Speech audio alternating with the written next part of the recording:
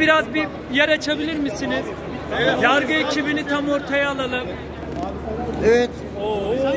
Çok öldüler abi. Yok böyle iyi. Öyle kalalım, Evet öyle. evet. Son merdiven kalsın masama. Abi ben senin önüne geçeyim. Adem abi. Ben seni zaten çaprazım. Adem abi bizim diğer ekiplerde röportajlar yapılıyor. Tamam mıyız arkadaşlar? Benim için de zor oldu. Evet, iyi akşamlar. Kaan Bey. Zorlamayın. Röportaj bitene kadar buradayız. Ta- Tamam o zaman. Hoş geldiniz diyelim yargı ekibi. Altın Kelebek Gecesi'ndeyiz. Neler söyleyeceksiniz? Muhtemelen en iyi ödülü de siz alacaksınızdır diye tahmin ediyoruz. Hadi bakalım Çünkü diyorum. yargı dağıtmaya devam edecek bu gecede. Ama öyle olmaz. Bizimkiler de var. Aa,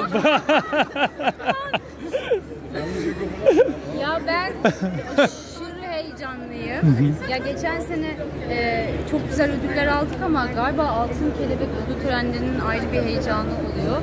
Ben çok heyecanlıyım. E, bütün ekiple beraber geldiğimiz için de çok mutluyum. E, böyle.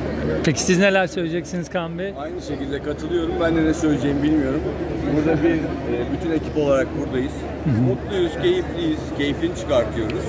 E, yani burada bu keyifte olmayı hak ettiğimizi düşünüyoruz. Gerisi artık seyircinin, oy verenlerin takdiri. E, bu gece mutluyuz. Teşekkür ederim. Konuşulmuş herhalde bütün ekip olarak siyah kıyafet giymiş.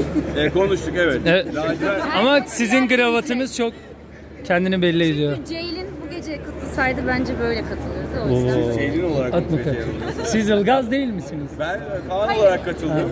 Kaan ve Ceylin'in gecesi. Kaan ve güzel yaşadık. Çok teşekkür ederim. Kaan ve Pınar'ın gecesi ama Ceylin benim kalbimde ve eğer ödül alacaksam Sam, evet onu diyecektim ona armağan. büyük ihtimalle Ceylin sayesinde alacağım. O yüzden. İnşallah diyelim o zaman. Ödüller sizin olsun. Çok teşekkür ederiz. İyi eğlenceler dileriz.